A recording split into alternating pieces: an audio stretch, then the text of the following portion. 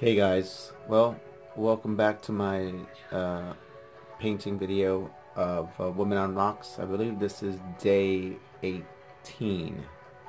I believe so. So, um, I'm going to continue where I left off, where I was doing um, almost like a underpainting of in in lamp. I was using uh, a white Art, Winsor Newton Artisan Water Mixable Oil Color Titanium White and Lamp Black.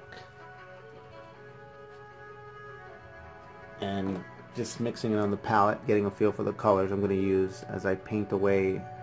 I actually like this palette, how it looks, but I'm going to continue painting away on it uh, and see what goes on. So I'm going to continue with the upper body and the hair and all those details.